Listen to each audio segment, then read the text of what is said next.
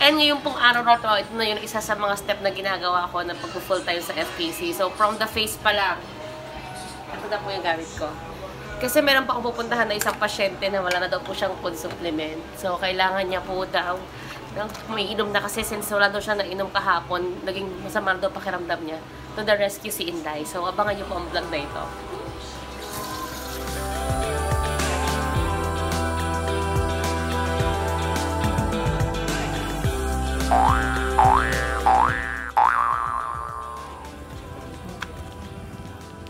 Guys, ayan, nakatapos na ako sa bilis-bilis na pag-aasikaso. Papunta na po kami ngayon sa SM Kalamba para i-meet yung isang patient po natin na ano, nag-aas ng supplement. And meron din siya kasama na i-MRE natin. So, stay lang kayo dyan guys.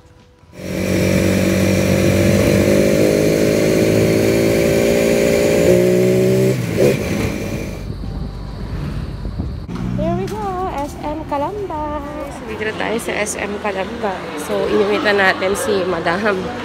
Magkikita kami sa Jollibee. And then later, i-update ko pa kayo sa mga mangyayari ngayong araw na ito. Stay tuned la.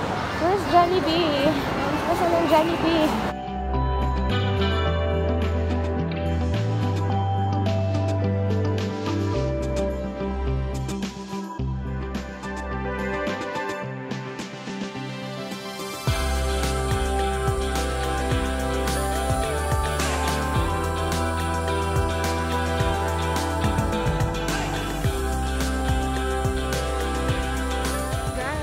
Done. Inabot na kami ng gabi. Ang tagal din talaga mag-check ng MRA. Guys, ayan, kakatapos lang namin at ngayon ipa-uwi na ulit ako. Uwi na ulit si Inday. Pagkatapos mag-FKC. Yan, inabot pa kami ng maulang ah, maulan. Kaya, mamaya na ako magko-comment ng extra ko pag nasa bahay na kami. See ya guys! So, ayan guys, natapos na rin kami sa pag-MRA at sa pagbibigay at pag-deliver ng food supplement sa Kalamba. And you know, mga Inday, uh, first nung nagko-conversation pa lang kami sa messenger, nagdadalawang isip talaga kung pupuntahan ko ba siya or hindi. Kasi unang-una, hindi naman sobrang napakadami nung bibilhin niya para dayuhin ko pa siya doon.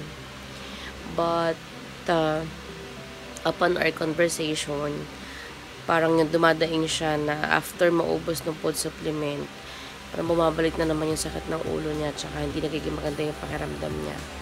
So, dahil si Inday ay soft-hearted, ayan, dumayo po. So, guys, hindi ko pala natapos yung aking vlog nung last time. Kasi tumawag yung asawa ko habang nagbablog ako. So, ngayon ko itutuloy yung pinakang extra dun sa vlog ko.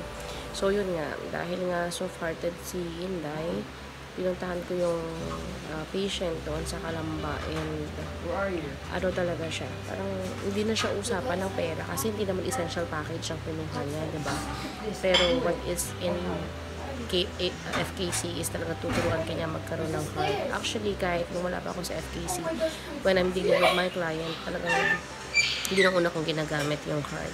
So, ayun, masaya naman ako nung afternoon and uh, abangan nyo pa yung maraming journey na ibablog ko for FKC. And uh, please do hit the bell button para ma-notify ko every time that I have new videos. And thank you for watching guys. Please, please do subscribe to my channel, Mariel Velocity. Bye!